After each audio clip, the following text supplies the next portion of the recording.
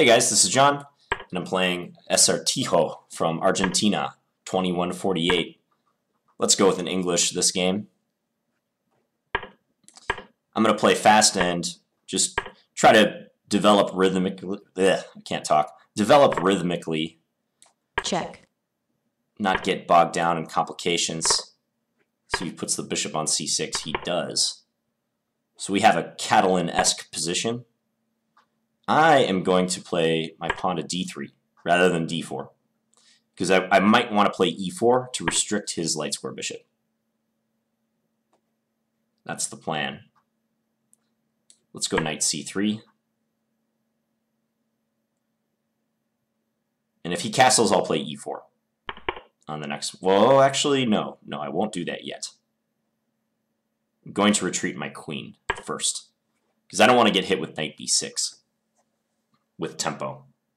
Well, actually, again, if I play e4, he has knight c5 now. So maybe I have to go rook d1 next, and then try to go e4. b5? Really? Really? This move I do not believe. b5. What happens if I take it? You're going to go rook b8? I see some lines that look like a lot of fun for me. I, I really want to take it. I really want to take it. Line I'm thinking of is take rook b8, knight d4. Just not sure which knight. Oh, but it's just bad. It's not good to do that. I should not do it. I'm talking myself out of taking. Yeah, it's not a good idea.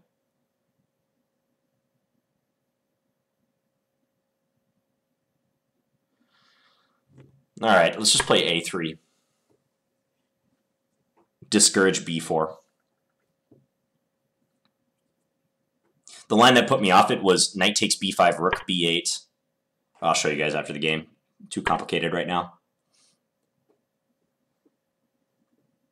Okay, well now he should play probably a5 now. Because if he doesn't play a5 and try to advance b4, this whole plan looks kind of ridiculous. So I expect him to do that. Hmm. So now I can play b4. I can play bishop e3. Bishop e3 is logical. Let's do that. It's simple. He maybe can go b4 all the same, but his a pawn will be hanging at the end of that line. He could play knight g4 to harass my dark square bishop. But I was thinking he might have some uh, issues with the undefended pieces. Okay, so here, can I just win a pawn, b4, and take on a7? Looks simple. Let's do it.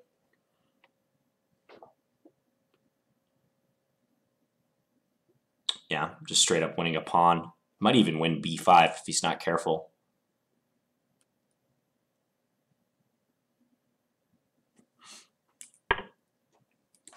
Take that guy. Thank you very much. He does defend it. Okay. Let's go here.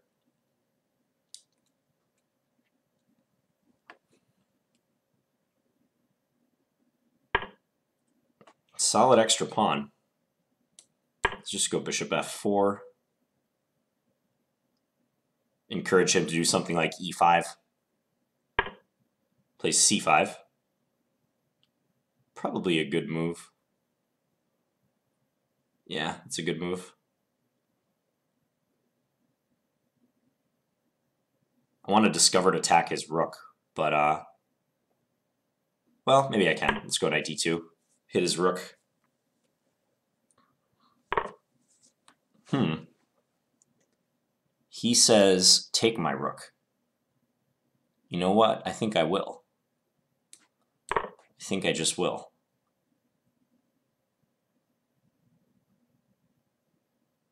So if you take if he takes on c3, I take on a8. He can take on d2, but then I can withdraw my bishop. And I'm coming out on top material-wise. I bet he'll just play bishop takes b7 in this case. Yep, he does. So I'll take. So I got to be um, heads up about my light squares. I don't want to want him getting some queen bishop battery going on those light squares and causing me problems. Okay, so now can I just defend my b pawn? He's eyeing f2 though. I don't like that he's eyeing f2.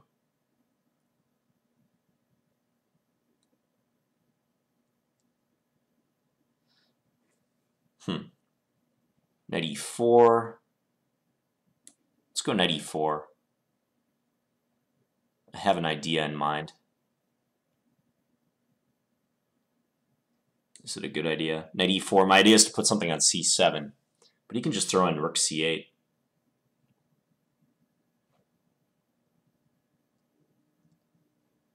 Okay, let's do this instead.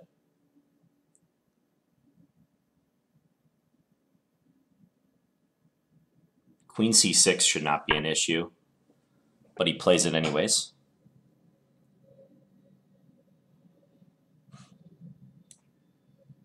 Let's just block.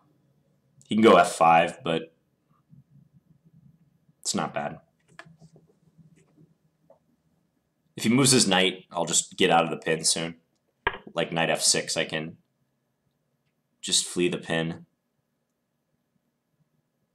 Okay, bishop d2.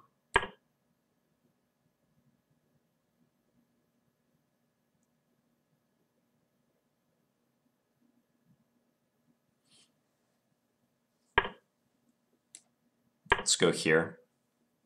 So now my queen is defended.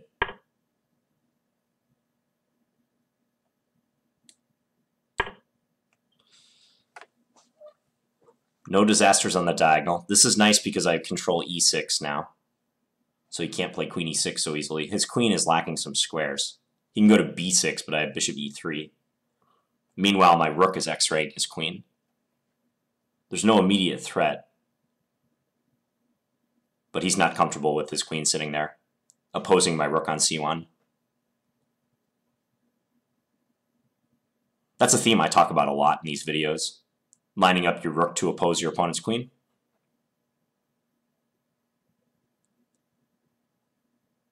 Hard to find a move for him here.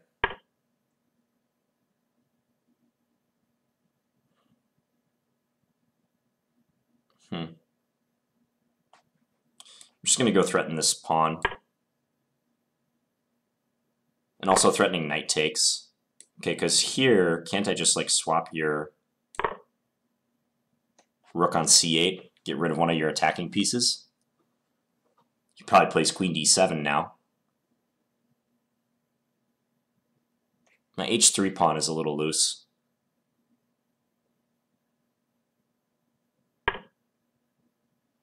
Hmm. Now let's just take. Or is taking on b5 even better? That might be even stronger. Let's do that.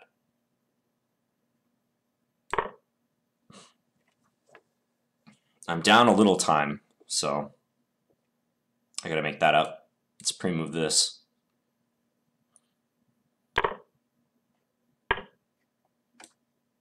Let's take here.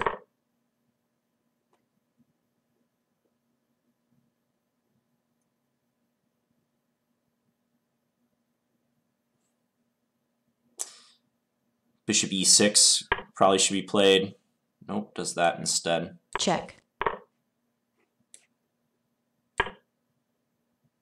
Can win h3. But I think I'm fine. That h-pawn is whatever. Let's just push. Um, let's give it check. Check.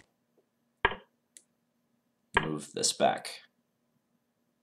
Don't get mated, John. Queen c6. Ooh, queen c6. No, queen c6, I have rook e4.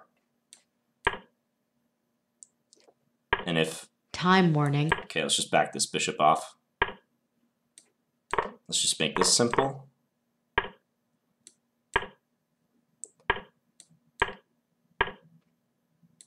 No Check. perpetual. Please no perpetual. Um, I don't think there's a mate. Check. There's no mate. Um, yeah, even if he goes like queen h1, Check. I just take on g4. h5, and my king can escape. Okay, we'll check this one out. b5 was really wild.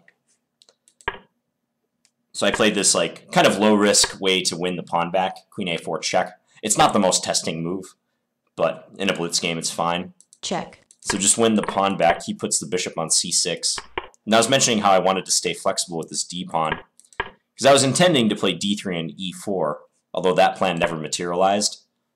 Probably if I do it, I should do it earlier, like maybe right now. Because when I waited a move, like now e4 can be met by knight b6. And if my queen moves to b3, I wondered if he could just take this. I might have decent compensation in this case, like I have rook d1 or knight e5 attacking his queen and the bishop here. But um, it kind of put me off the whole idea. I went here thinking like, oh, I'll go e4 on the next move. But um, even if he had made some neutral move, I don't know, let's say let's say he plays h6. If e4, he has knight c5 with these two under attack. But b5 really surprised me. Now, after b5, a line I was thinking for about for a while, because what did I spend? Probably 45 seconds or a minute on this move? Yeah, full minute. Whole minute on, on playing a3. I was contemplating this, rook b8, and then this move, which I thought was really interesting. Because after rook takes b3, knight takes c6, I'm going to have enough material for the queen. Uh, probably he should go here to defend the bishop. And then I could either take right away or take on e7. Let's say I take here. And I have what? Uh, a minor piece plus a rook and an extra pawn for the queen. So doing fine material-wise.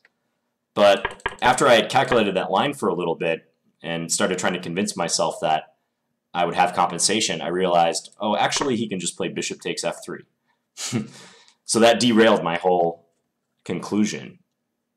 Because now I don't think I get sufficient compensation. Like he, you know, I take, he takes here, knight c6, let's say, and then just this. Yeah, and I'm just going to be down, just down material. I didn't get that extra minor piece. So at that point, I think I even ruminated about this idea a little bit further, but I really should have just immediately gone on to the next move to consider and just totally dumped the idea of uh, knight takes b5. And by the way, like knight d4 looks kind of tempting too, but I think on knight d4 he can take, take, and then play knight c5, and I have both of these under attack. Discovered attack by his queen. So it's a move that looks like it gives me something, b5, but I don't think there's anything. Yeah, queen c2, the best move according to the computer. a3. I really thought he should play a6, or uh, a, a5, I mean, not a6 as the computer was suggesting. But yeah, maybe in this case I can take so that after rook b8 I can just play a4. This would not have been as effective um, after b5 knight takes because in this case a4 runs into a6. Yeah, and if I attack his bishop, the same problem crops up. He has bishop takes f3 as an in-between move. So I played a3, he did this, but now my position got really, really nice. Here, and I just got to play b4 and win the pawn on a7. Now I'm cruising. This is nice. I have to say, I didn't see his c5 move.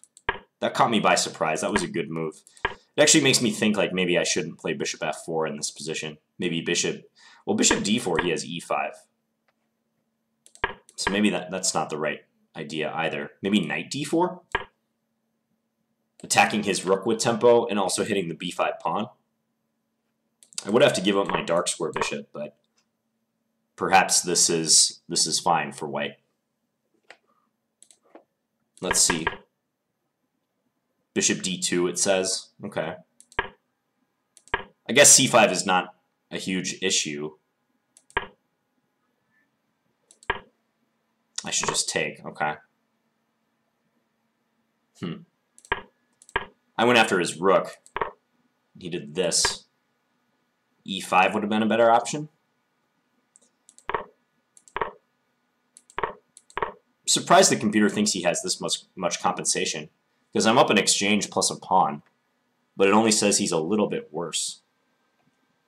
So the line the engine's giving is e5, bishop e3, knight takes e3, pawn takes e3, queen b6. Okay. well, now you have a point, engine. Yeah, because this pawn is in trouble. I have to give it up. King f2 seems out of the question. That just looks way dangerous. Yeah. So it's saying, like, put a knight on e4 and let him take Check. this, and then go rook f2. And white's still better, but yeah, this looks much dicier. The dark squares are problematic for white.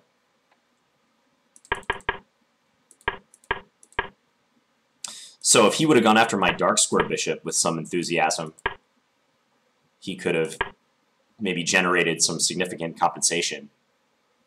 As played, though, even here, says take, rook takes, and then g5, again targeting the dark square bishop. My bishop has no safe square to go to. It's saying it's so valuable I should give up my knight so I can do this.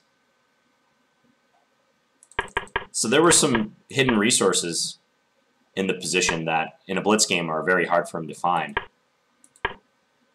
He did this setting up the checkmate threat on g2, but I just block. e5, I move my bishop back, and now white should be safe. Any initiative he had is fizzling out now. Check. Yeah, and now I'm just Check. trying to tidy up the position. Possibly I shouldn't have even given him the h3 pawn, but I didn't think there was any harm in it. Check. Yeah, I, I could just push and get another queen. I was worried for a second like he might do this, but I do see now that I can just get a queen and not even capture and expose my king. I do wonder if he had queen c6 though. Because that was a move I saw right before he played his next move. I do have rook e4, but then f5, right? I guess I just still ignore it. Take, queen, takes. Oh, I'm mating him on g8. Hello. Okay. So it is winning for white, even in this case. Well, that b5 move in the opening really shook things up. Yeah, right on move 11. Made for an interesting game. Hope you guys enjoyed that one. And please feel free to leave me any feedback in the comments. Thanks for watching today, guys. Talk to you later.